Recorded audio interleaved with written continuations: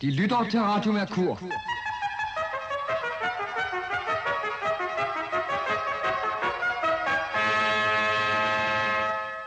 Ew, det er jo langhåret musik. Jo, men der er også...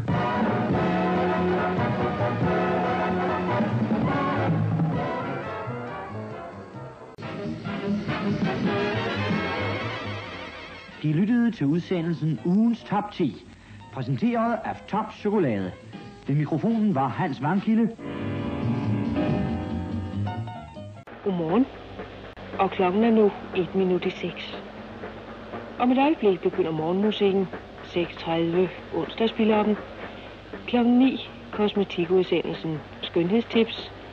9.30 Vi spiller, de tager fat. Og fra klokken 10 til 11 Lyt og køb ind i Roskilde. Øh, når man kører op foran parkometeret, så må man bestemme, hvor lang tid man ønsker at holde. Minimum er 1 time og maksimum 3 timer. Det koster 50 øre for den første time, og så 25 øre for hver efterfølgende halve time, og maksimum 1 kroner og 50 for de 3 timer.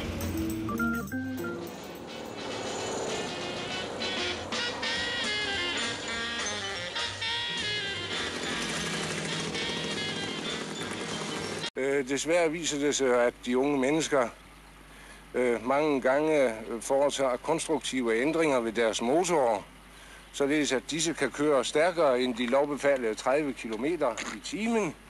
Hvilket indtryk har de af den motoriserede ungdom? Ja, jeg kan ikke nægte, at den har været til geni for vi forretningsdrivende her i gaden. For eksempel en fredag aften, hvor de kommer med deres knaller og deres store motorcykler.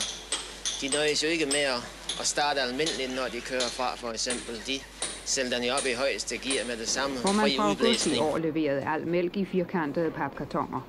Det er lidt dyrere, det kan vi vende tilbage til, men det er nemt, ikke mindst for de udarbejdende husmøder, som uden at have flaske med kan handle på vej hjem til husholdningen. Ja, vi vil gerne have en liter sød og en halv kerne. Ja, tak. Og så en lille fløde. Jo, tak. Det er nemt med pap. Ja, det er dejligt. Så noterer de det lige. Jo, tak. Det var 319. Men hvad synes forbrugerne? Vi spørger fru Sørensen. Den er så dejlig renlig, for de er man fri for alt det der med at fl- vaske flasker. Good bacon has Danish written all over it. Swing through summer with Danish bacon. Start the day with Danish bacon. Swing through summer with Danish bacon. Tender roast gammon with Cross and Blackwell baked beans. Swing through summer with Danish bacon. Delicious. Roast bacon? Mmm, Danish. Oh? Yes, Mark cured. Oh, that's nice. See, you give me a recipe. Danish bacon spring fair. Oh. See? I'm going to do a May roast. May roast? Oh, lovely. It's going to cost you a bit, though, isn't it? No, no. It's cheaper than usual. Go on. Not like real meat, though, is it? Oh, you are. A Danish is real meat. And a very nice change, too, Fred says. Oh. How is Paradiso, nær ved skov og strand. Paradiso, lykkens land. Paradiso er det drømmested, hvor jeg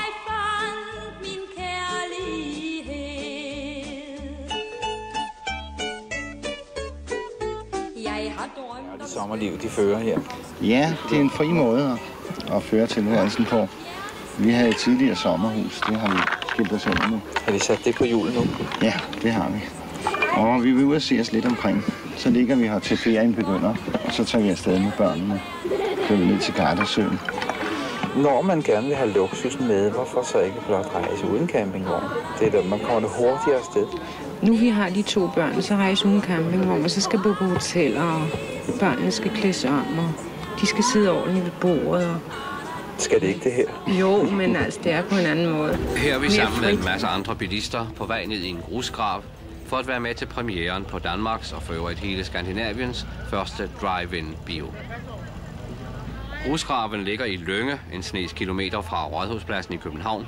Ved indkørslen får hver bilist udleveret en transistorradio og kører derefter i stilling foran et kæmpe lærred.